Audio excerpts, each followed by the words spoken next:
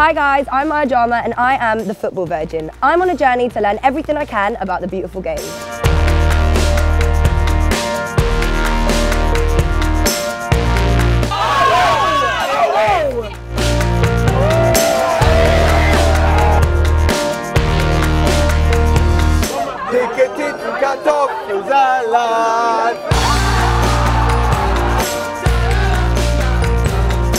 Please keep leaving me your suggestions, telling me what I need to do to become a football fan, because I can't do this journey alone. I met some crazy fans when I went to watch the Champions League final.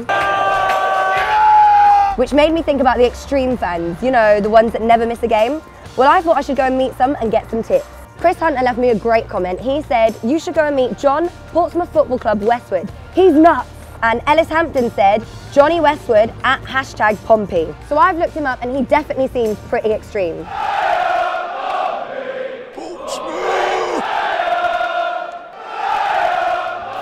This guy loves his team so much, he's even changed his middle name to Portsmouth Football Club. So I figured if anyone can teach me a thing or two about being a football fan, it's him.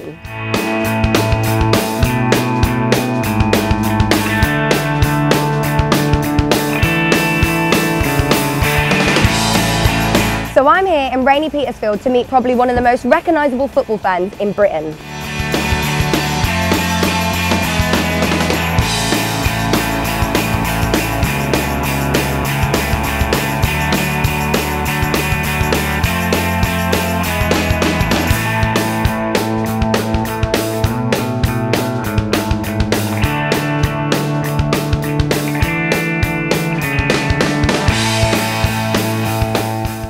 Okay, so I'm here in John's front room, which is pretty much a shrine of Portsmouth. Your house is amazing. How long did it take you to collect everything you have in here?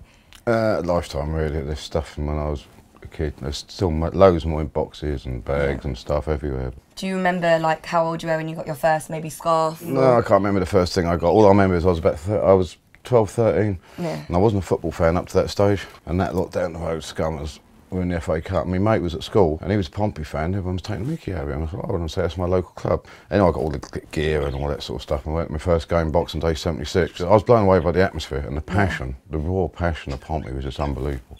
I knew from that first moment that's what I wanted for the rest of my life. So how does being this crazy football fan change your life, like your everyday life? It's a passion. It's difficult to describe if you're not a football fan. If you get that passion, it is something that it's in your blood. You can't uh, you can't actually describe it. I mean, football represents where you're from, and Pompey's like a working class city. People in Pompey like their football and their beer. So you'd never leave a match then, because I was at a match, and as soon as the other team started losing, people left.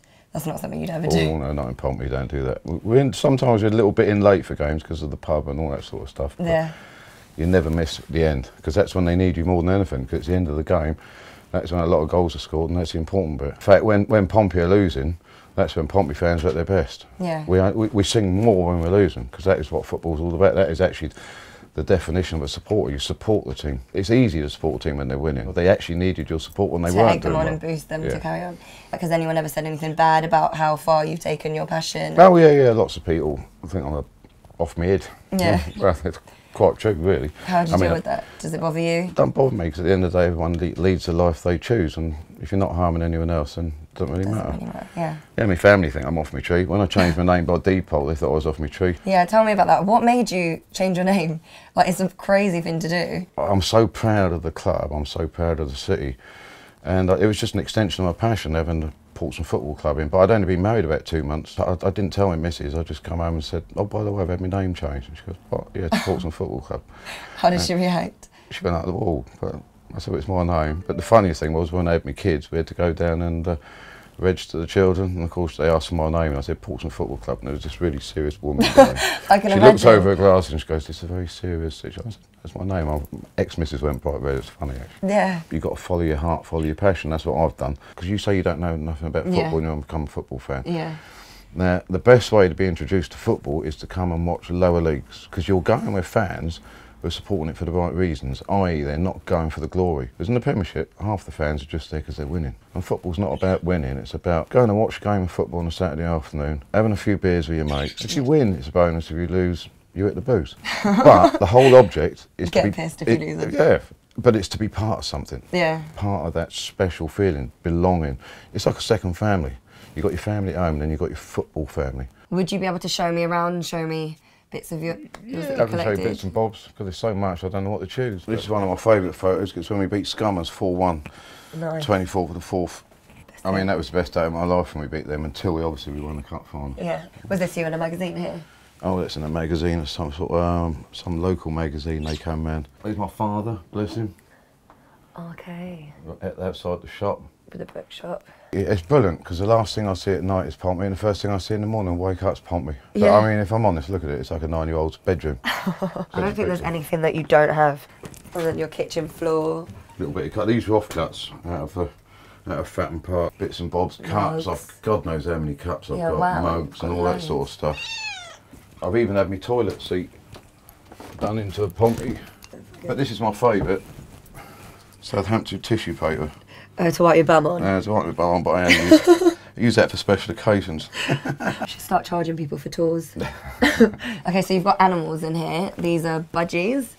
What are their names? One's Ferdinand, one's Pompey, and I had to wait to get blue and white budgies. I had to have them. And you've got cats as well. We can see one here. What's this I got four name? cats, each Pompey. I've got another one called Chimes, another one called Fratton, and another one called Play Up. Could you please like explain each tattoo? Obviously, Help for Heroes. Yeah. Got to have that. Oh no, that's Help for Heroes. but then I did my own version, Help for Weirdos. That's me on a on a stretcher with me out on being a din. Around my belly button, footprints, and underneath it says Portsmouth Naval Patrol. I got one on my head that says Pompey the best and ahead of the rest. Portsmouth to the die my chest, and I've got them on various other bits of my body which I won't mention. Oh, I They're only very small toes. Yeah, if I became a Pompey fan, Yeah. would you get a football virgin tattoo? Yeah, yeah, cool. Yeah? No problem at all. Okay, so for me, as I don't really know much about football at the moment, and I want to be a football fan, if you could give me three main things that I'd need to do to be a football fan, what would? One thing I can say, come to Fratton Park, watch Pompey, you, you, you'll become a Pompey fan overnight. The amount of people I've taken to football who weren't football fans, they come to Pompey and they've been football they've been Pompey fans for life. Obviously you've got to be able to drink. Can you Drink drink? a lot. I can. I can drink a bit. I've started drinking beer since we've been doing this. Cool. And uh, obviously sing as loud as you can. But Sing. be passionate, but it's got to be from the heart. Would you be able to sing us the Pompey chant? Play up, Pompey! Pompey, play up! Okay, wow, how amazing was he and his house? I think I've got a long way to go before I even come half as obsessed with football as he is. John gave me some great advice. He told me how important it is that you support your local team. And a lot of you left comments saying the same thing. Ryan Gameson said, support your local team where you live. Don't be a glory hunter. So I'm going to my hometown of Bristol! I'm not saying I'm going to support either of the Bristol teams. No, I'm going to do some research. So, Bristol fans, I need your help. Please leave comments, let me know where I need to go, who I should meet, which team's better. And you never know, one of you could end up being my Bristol tour guide. So, subscribe to Copa 90 and I will see you in Bristol.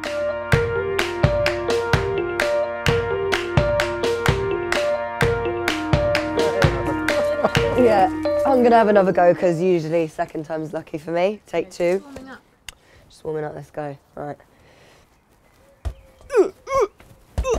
Well, that one, What's that for? That was four. That was two, three and a half and a knee. Yeah, but that counts.